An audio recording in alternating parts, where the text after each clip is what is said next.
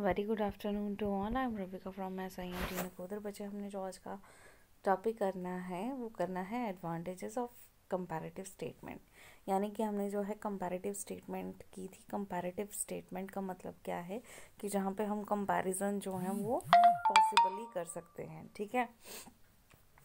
अब ये जो है कंपैरिजन ये हम अपने जो है स्ट्रेंथ वीकनेस अपॉर्चुनिटी या थ्रेड्स के लिए जो है देखते हैं। अब हम एडवांटेजेस की बात करेंगे। ये जो है फैसिलिटेट करता है इंटर फॉर्म और inter period comparisons inter form means जो हमारी फर्म्स होती हैं, हम अपनी फर्म को ही जो है क्या करते हैं कंपैरिजन करने में पॉसिबल होते हैं। जैसे कि हमने बात की कि हमने अपने पिछले चार सालों के प्रॉफिट्स देखने हैं तो ये है इंटर फर्म जो है फैसिलिटीज़ हमें देखने को मिलती हैं और इसमें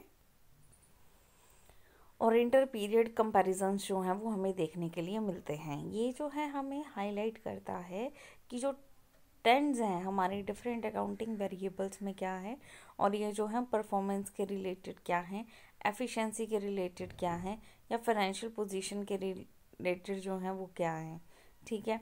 नेक्स्ट ये हमें हेल्प करता है कि हमने आइडेंटिफाई करनी है वीकनेस किसमें?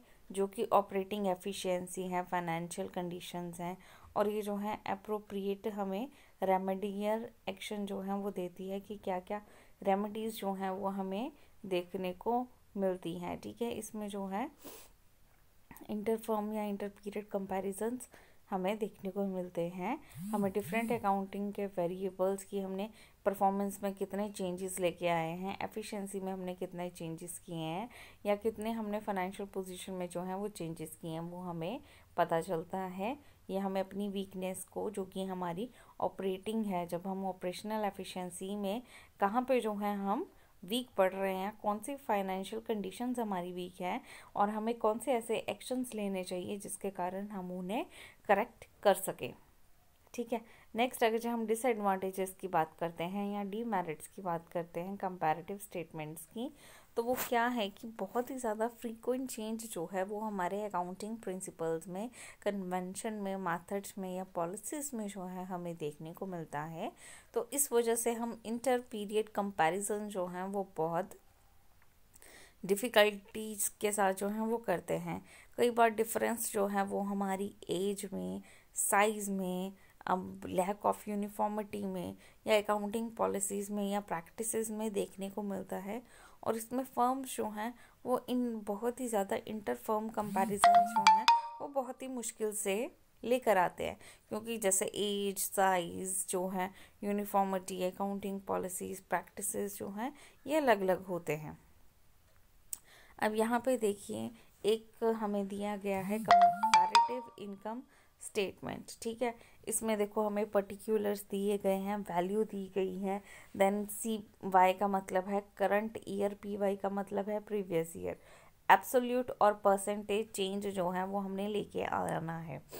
नेट सेल्स जो थी वो देखिए वन ट्वेंटी की थी और प्रीवियस ईयर में ये हंड्रेड की थी, यानी कि ट्वेंटी से इंक्रीज़ हुई है. तो इसमें जो है वो प्लस ट्वेंटी हमने एब्सोल्यूट चेंज जो है वो किया है. ठीक है? Then less cost of good sold तो इसमें क्या है? फोर्टी माइनस थर्टी ठीक है? तो ये कितना हो गया? प्लस टेन ग्रॉस प्रॉफिट आपका करंट ईयर में एटी है प्रीवियस में सेवेंटी था तो यहाँ पे प्लस टेन ऑपरेटिंग जो था वो फोर्टी था और लास्ट uh, ईयर जो था ट्वेंटी फाइव था तो फिफ्टीन अब ये देखिए ऑपरेटिंग प्रॉफिट जो है वो आपका अभी कम है पिछले ईयर ज़्यादा था. तो ये चल गया माइनस में। लेस इंटरेस्ट इंटरेस्ट दोनों ही ईयर्स में सेम था तो इसमें कितनी आ गई? ज़ीरो वैल्यू आ गई। ठीक है अर्निंग बिफोर टैक्स जो था वो कितना था? फ़र्स्ट ईयर में थर्टी था और हमारे प्रीवियस में थर्टी फाइव था, यानी कि माइनस में चल गया। लेस टैक्स तीन परसेंट से इंक्रीज हुआ है तो ये प्लस में चल गया। अर्निंग आफ्टर टैक्स जो थी वो क्या थी? दो से कम हुई है यानी कि एटीन थी और क्या है, ट्वेंटी है तो ये कितने में चल गया? Minus. Less preference share dividend ठीक है? दोनों सेम है तो zero earning available to equity share holder कितनी है? पिछली ईयर ज़्यादा थी, इस ईयर कम है तो कितना आ गया? Minus two. अब जो हमने परसेंटेज चेंज निकालना है, वो हमने कैसे निकालना है?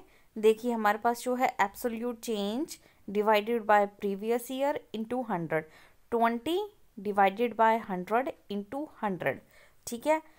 तो हमारे पास देखो हंड्रेड से हंड्रेड कट गया, कितना बचा? ट्वेंटी नेक्स्ट जो है, कैसे आएगा?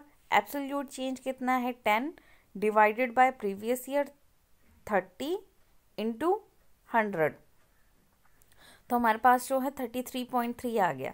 Same ten divided by seventy into hundred हमारे पास आ गया फोर्टीन पॉइंट थ्री तो हमारा जो फॉर्मूला है, ठीक है वो कैसे है?